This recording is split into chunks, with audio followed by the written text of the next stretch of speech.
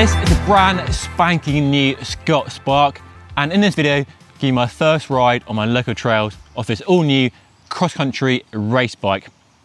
Now some of you might have seen my very first impression on this bike when I went to Glentress in Scotland to ride a bike with Tony from Scott UK and that's a good fun day but too short and too limited to really get to know the bike properly but now I have the bike in my hands I got it for about the next six weeks so I'm going to give you a first ride impression on my local trails and over the next few weeks I'll give you a mid-term and a long-term review on this bike. So if you have any questions about this bike that you want me to answer in these videos then do let me know by leaving a comment down below. And let me tell you it's great to get back on a mountain bike like this after riding quite a lot of gravel bikes over the past few weeks. Talking which, if you want to see how this bike compares to a state-of-the-art gravel bike with a suspension fork and a dropper seat post, then check out this video linked up above. Some very interesting results from some time comparison riding between the two bikes. But in this video, we'll talk about this bike, how it rides, and go through some of the details on this very striking looking bike. So let's dive in.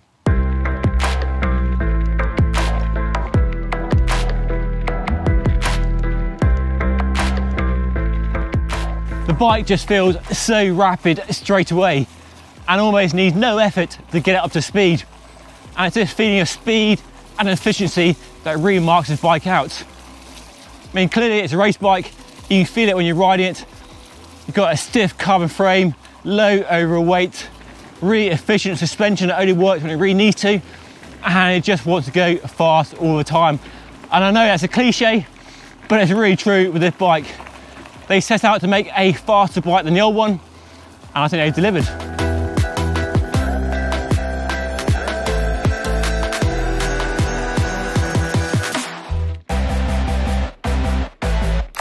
One feature on the Spark that has always divided opinion is a TwinLoc, the two levers on the handlebar that control the suspension. So front and rear suspension, you can have locked out, a traction mode, or fully open. Now personally, I don't really use a lockdown mode, maybe on a road or a road climb, that's very rare. Uh, fully open mode works extremely well. You get nice, plush, supportive suspension, get all that 120 mil when you need it all the time. And that middle mode, the traction mode, is basically a climbing mode and it firms up the suspension, makes the bike feel more efficient and a bit faster on the climbs. But I find it so well controlled in the open mode unless you're really mashing the pedals, the bike is nice and supportive and efficient on the climbs. So it's clear the new Spark is a fast bike. Um, is it faster than the old bike?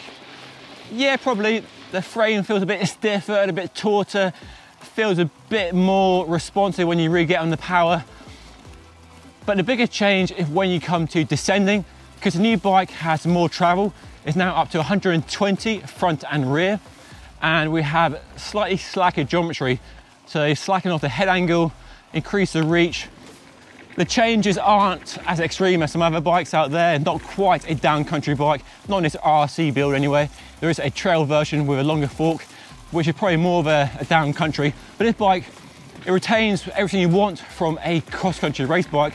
So very agile, fast handling for getting around corners and overtaking people, but gives you much more descending capability and for me, much more fun when you're going downhill. So when you earn all those gravity tokens from toiling away up climbs, you can really cash them in on the way back down.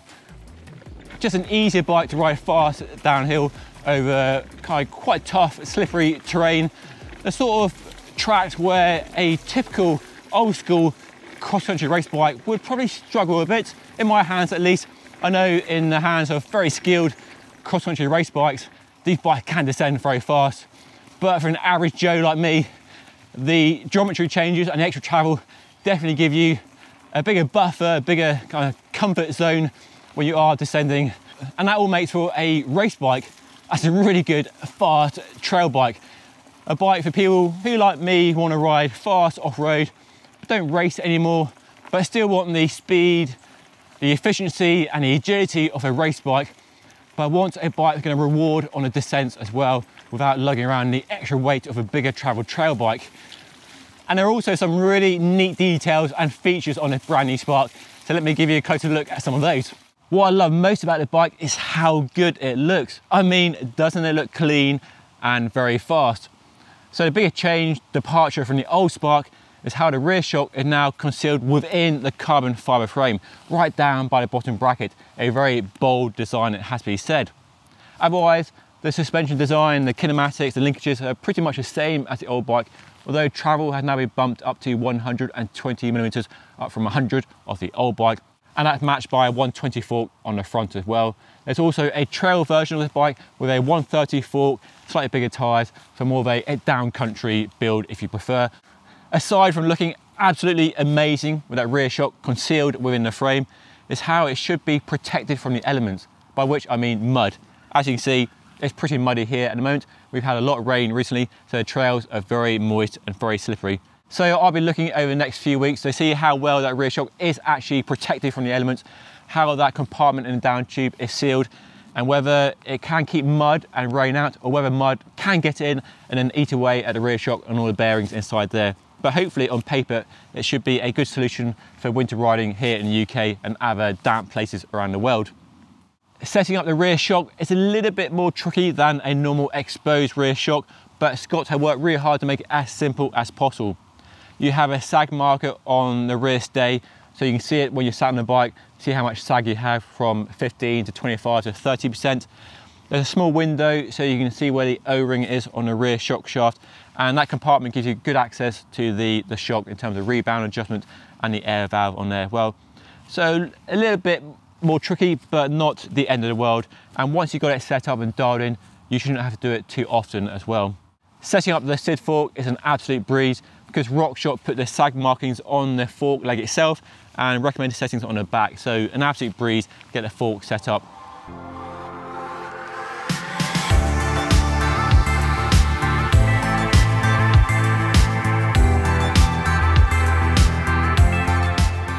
There's a staggering 26 models in the brand new Scott Spark range, with prices starting at just over £2,000 and rising all the way to £12,000.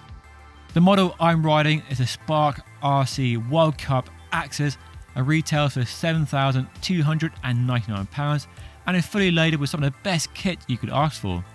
It's got a SRAM XO1 Eagle AXS 12 speed wired group set with Shimano XTR disc brakes, a Syncross carbon wheel set with matching one piece carbon handlebar and stem, fast rolling Maxxis Recon race tyres, a RockShox SID Select fork, and a Fox dropper seat post. And how much does this size large weigh? Well, I'll let you have a stab at guessing and reveal the actual weight in the next episode, so stay tuned. So far then, based on this first ride, it seems that Scott had pushed a spark in a good direction without risking alienating that sort of core cross-country racer um, group that want a race bike like this, but while also opening up to people who don't race but want that lightweight, fast cross-country trail bike. So it definitely appeals to a wider audience than before. Uh, just a really fun, fast bike. So there we are then, my first ride on a brand new 2022 Scott Spark, a bike that lives up to its looks by delivering impressive performance on the trail. This is very much just a first ride, as I said. There will be more reviews coming very soon. And let me know what you want me to check out on this bike by leaving a comment down below.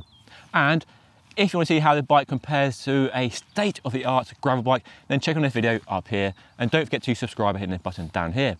Right, thanks for watching. See you all again very soon.